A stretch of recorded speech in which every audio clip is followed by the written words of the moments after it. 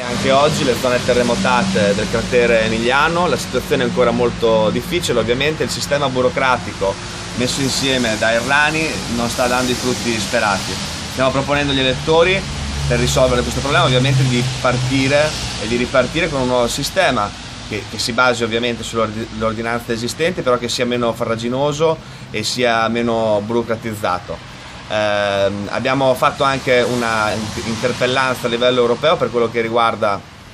l'ordinanza 71 che mette in ginocchio le aziende agricole del cratere in quanto